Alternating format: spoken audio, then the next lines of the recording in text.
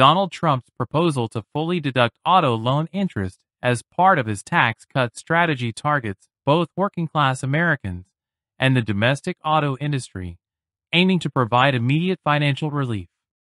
By allowing auto loan interest to be tax deductible, he positions this move as a straightforward solution to an everyday problem, similar to a simple yet impactful invention like the paper clip.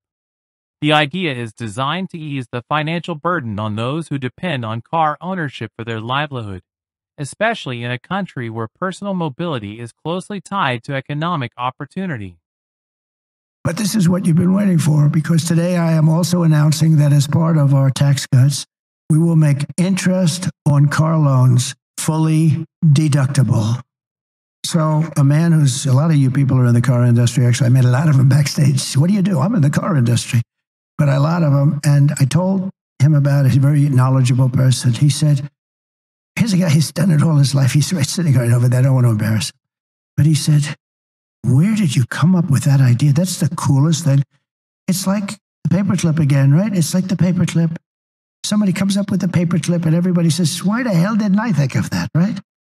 Somebody came up with a paperclip, I guess made a lot of money. And other people said, Gee. But he said, you know, I've been in the car industry all my life. I've never thought about that.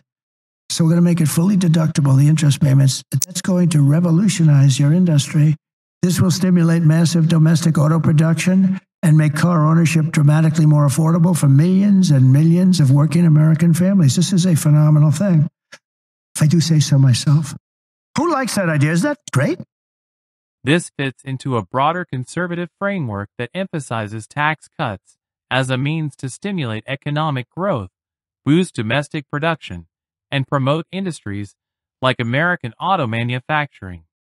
By reducing taxes, Trump aims to increase car sales, support jobs, and keep more money in the hands of individuals, which aligns with traditional conservative values of economic freedom and personal responsibility. The policy also echoes his America First approach encouraging domestic production over foreign imports, which could lead to more jobs in the auto industry while stimulating demand for American made cars. For voters, especially in areas heavily reliant on the auto industry, this proposal could be seen as a direct effort to address financial struggles and provide a tangible benefit. Trump's plan ties into the conservative belief that minimal government intervention and reduced taxes can unleash economic growth. Additionally, the focus on car ownership as a symbol of independence taps into deeply rooted American values of individual freedom, reinforcing the idea that this tax break is not just about cars, but about enhancing people's ability to participate fully in the economy.